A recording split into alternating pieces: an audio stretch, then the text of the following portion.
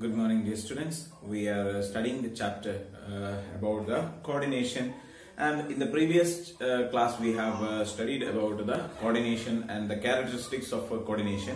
Now, we are going to study the next topic that is uh, coordination is the essence of management. An important question that arises in relation to coordination is whether or not it is to be recognized as sixth function in the chain of management functions. Like we have already studied about uh, five functions of uh, management such as uh, planning, organizing, staffing, directing and controlling. And do we need to consider coordination as the sixth function of management or not? Okay, so there is a question like that. Let us uh, see whether the uh, this one is uh, necessary or not. Some management experts consider coordination is to be a separate function of management. However, modern management experts are of the view that coordination is not a separate function of management, rather it forms a major part of all the other functions of management. In other words, management cannot be accomplished without proper coordination and hence management has the con- uh, concentrate its uh, has to concentrate its efforts on the establishment of coordination. Modern management experts Koontz and O'Donnell are uh, also the supporters of this line of thinking, and it is the only in this relation that they have uh, stated coordination is the essence of management. It means when a manager uh, delight, diligently performs all the management functions, he or she remains busy in establishing coordination. This fact is highlighted through the following discussion. So, we have uh, studied that some experts they say that uh, we have to consider coordination as a separate function but uh, some of the management experts they say that uh, it is not necessary to be considered as a separate function but it is uh, applicable in all the functions of management like planning so for planning coordination is required. Or uh, when or a different type of activities that we are doing in every activity the coordination is uh, uh, necessary. And they say that that is why they say that the coordination is the essence of management. You know what is the meaning of essence? Essence is the the, uh, topmost thing. Okay see like if you consider like a vanilla essence is there. So you know see like it is a very uh, very minute amount of thing or very small amount of thing but uh, it can be used to give flavor for the entire things. Okay so essence means that uh, it is the we can say summary or uh, extracted ones. Okay means that it is the including the main thing the most important thing is the uh, thing. So uh, uh, it's called as the management. Sorry uh, is the coordination okay? So if whatever things are supposed to be done by management in that uh, the work that the uh, managers are doing is to create coordination among the different activities that are performed. Now let us uh, discuss about uh, how we can see management as the essence of management. So we will study the relationship between the different functions of management and uh, the coordination. So coordination and planning while performing the function of planning, coordination forms the center of focus of the thinking of a manager. Planning is undertaken keeping in mind the various activities being performed by the different departments of an organization. So when we are doing planning, we have to keep in mind uh, the coordination. So there are different activities to be performed. There are different uh, works are there. So when we make the plan, we have to see to it that all the things are coordinated uh, properly so it has to be maintained in that way. So different connection between the different things has to be there. So about that we have to think and uh, plan. So when we are making the plan we are uh, considering coordination there.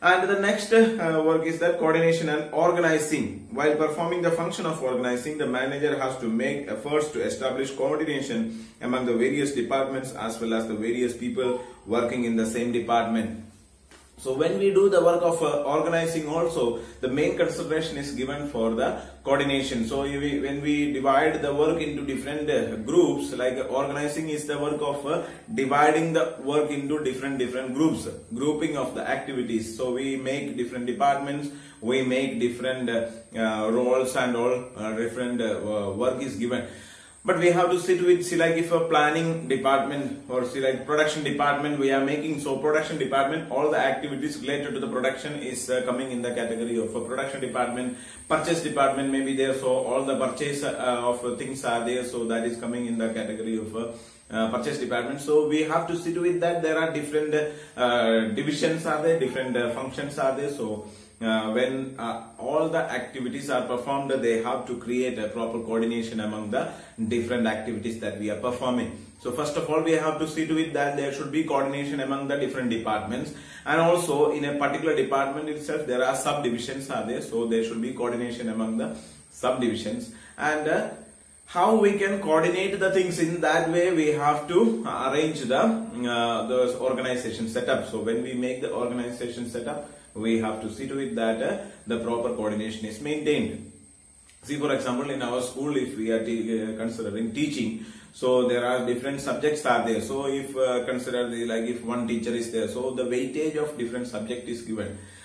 See, for example, business studies is there for you. We are studying like commerce students are there. So business studies is there, accountancy is there, economics is there. These are the three main subjects that you are studying. Along with that, you have to study English and uh, Hindi, and uh, subject teachers are to be uh, ar- arranged accordingly. So, see, like I am teaching business studies, Sandu sir is teaching accountancy, uh, sir is teaching economics. So, there are different teachers appointed. So, these things are have been uh, made in such a way that the proper coordination can be maintained. Different subjects are there. The timetable is made. It is not possible like uh, for accountancy or, or if more period. Like in a day, three periods are given for accountancy and uh, or only few periods are given for business studies or economics and all. So such a way it will not be there. So there is a balance maintained. Even though see like some some days there will be more class for. Uh, uh, accountancy and some days there may be like two class maybe for uh, business studies will be there. Sometimes uh, uh, two class maybe for uh, economics will be there. So it will be arranged in such a way that uh, equal weightage will be given for or how we can manage the things. So the proper coordination can be how we can maintain. So such a way the organizing work is done.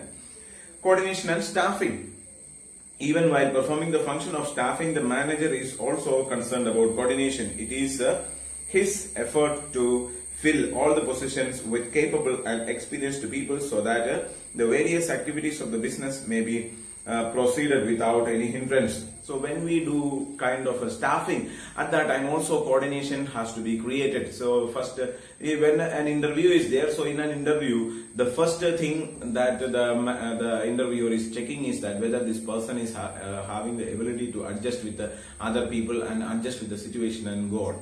Okay, so there are some kind of job that we have to do. We need to cooperate with other persons. We need uh, to create a coordination. So whatever may be the work that we are doing, it has to be there. Coordination should be there. Different the works are there to be done. So different posts are there. So in one particular manager, there are people with a different amount of abilities okay so they have to be appointed in a different different post according to the work that they are having so whether the person is having the uh, efficiency or not how much efficiency is there for one person and uh, accordingly he has to uh, get a post okay so uh, whatever may be the post that he is getting accordingly he has to be arranged so that uh, proper management of uh, uh, has to be maintained while we uh, make the decision of uh, staffing then again we have to study is about coordination and directing. While performing the function of directing, a manager gives due priority to coordination while issuing orders and instructions to a subordinate.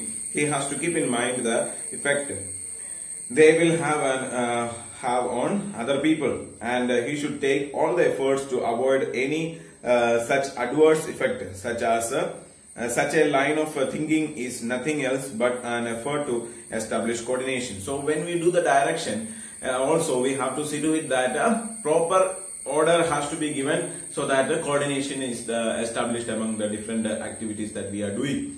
So we know we are performing different kinds of works, different activities are there that we have to perform. So when we perform different type of jobs, like if an instruction is given, so whenever we give an instruction, we should see to it that it is not disturbing the activity of another department, maybe of uh, another uh, person. See, like different jobs are given, there should be coordination among the different works. See, for example, if we are calling some labors, like imagine that if I am calling some five laborers for doing some job. So I have to give instruction to the first labor that you have to bring sand. Another person I will give, instruction that you bring cement. And another instruction uh, another person i will give instruction that you bring water. Okay so different things are uh, allotted to different person. And another person is appointed for uh, mixing these things and making the masala. Okay so for that one person is given. And another person's uh, duty is given to carry this mixed masala to the person who is uh, making like bricklayer will be there so he will be doing the job. So different works have been given to different person so their coordination will be maintained. So if we say to five of them that you make masala and supply to the uh, bricklayer. So what will happen? See, they will start uh, discussing there. They will have confusion there. Who will bring sand? Who will bring cement? Who will bring water? Who will bring the other things? And uh, who will carry this one? Who will mix this one? They don't. They have always confusion. So proper instruction has to be given.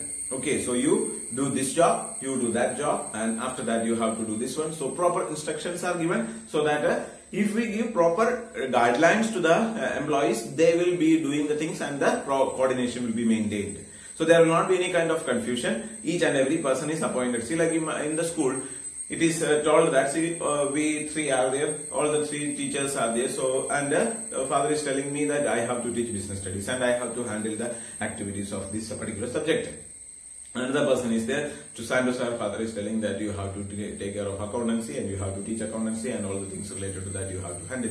And to uh, Anish sir, he is telling that you have to see uh, economics. So each teacher is given a particular responsibility and there is no confusion. I know what I have to do and I can do that and if the work is not done, father can call me and ask me why the uh, this particular chapter is not taught or why the uh, syllabus is not completed in business studies. So I am responsible for that. So each and every person has been given the authority or a, uh, responsibility to do the job.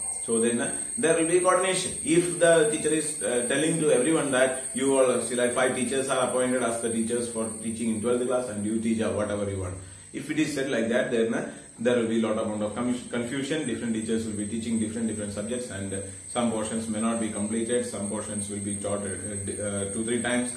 So there will be a lot amount of confusions will be there. So in order to avoid that, proper direction has to be given, and when we give the directions, we have to see to it that proper coordination is maintained among the uh, department and the different employees. Then the next step that we have to study is about the coordination and the controlling. In the context of uh, coordination, controlling results in the uh, harmonization of the objectives of organization, the resources available to achieve those objectives and uh, the human efforts are required. So the, when we do the controlling also we have to see to it that coordination is uh, maintained. So uh, like there are so many uh, the targets are given and uh, the actual performance are there. So how much is the resources available? All these type of things has to be considered. Like if the resources are uh, less and the target is very much high. So then this will not be achieved. So that cannot be achieved or we cannot blame the employees for like if uh, uh, we have like see imagine that if I have to make clothes and uh, there we can make clothes are given for making three shirts and these clothes are sufficient enough only for making three shirts and the target is given to us for making five shirts. So is it possible? So only clothes are there only for uh, three shirts and uh, if otherwise we have to make the shirt size uh, should be short. So, so, the prescribed shirt size also is given and clothes are also given. So this much uh, cloth with that cloth we can make only this much uh, shirt. Only three shirts can be made. But uh, and if the manager is telling that you have to make five shirt then the worker will be in confusion. So he will be in trouble whether how to uh, make this one. So he will not be able to make even three also. He will not be able to make. So performance will be affected. So the proper coordination has to be maintained. How much uh, resources are there? How much uh, time is there? And how much activity can be performed based on that the proper coordination is maintained. Then the uh, controlling activity also can be successful. From the above discussion, it can be uh, concluded that uh, coordination is concerned with uh, all the functions of management. Therefore, it can be stated without any doubt that coordination is not separate function of management, rather it is the essence of management. So, when we gone through the different discussions, so we studied that when planning uh, in Planning also, coordination is required. Organizing also, coordination is required. Staffing also, coordination is required.